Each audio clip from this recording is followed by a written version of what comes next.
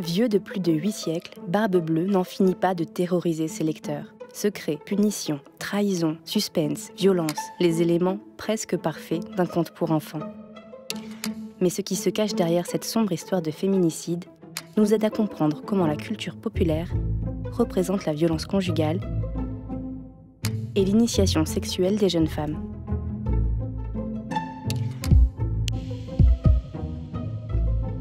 Dans une lecture contemporaine, hein, c'est un encouragement à prendre notre destin en main.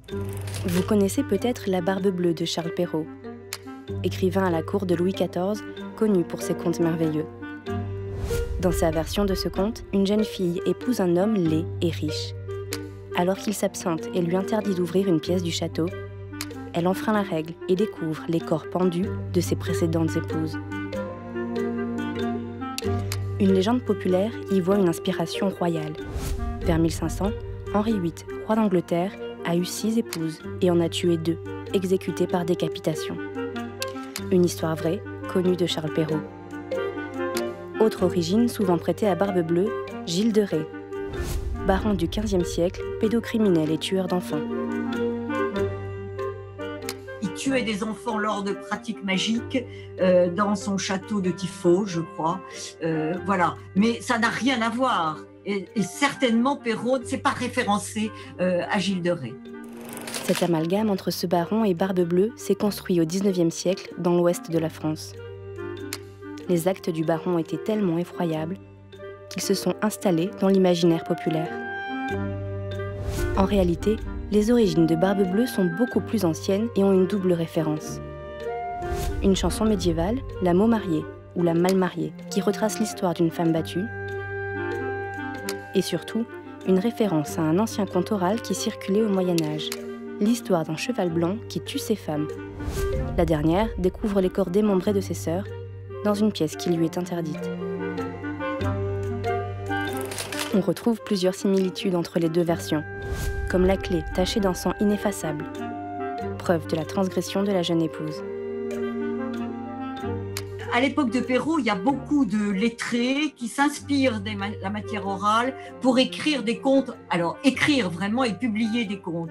Mais Perrault, lui, ses versions à lui qui ont été le plus gardées, euh, et qui se sont le mieux diffusées, soit par le colportage, soit par les images d'Épinal. Parce qu'il a su finalement euh, garder, j'allais dire, l'épine dorsale du conte, les, les fermules fortes.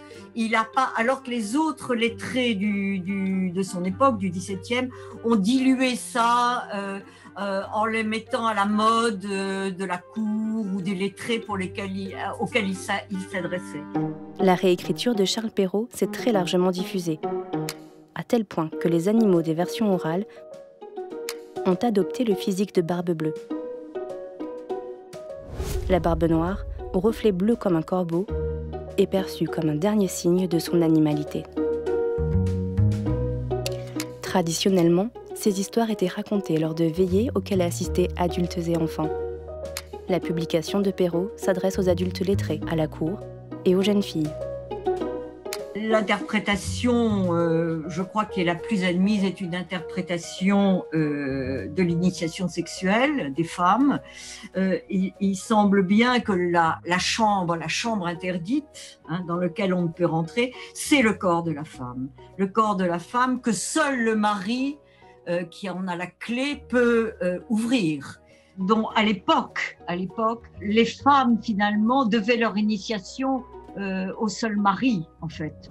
En désobéissant, en transgressant l'interdit, et pour la version orale, en sauvant ses sœurs, la jeune épouse s'affranchit de l'autorité de son mari et prend son destin en main.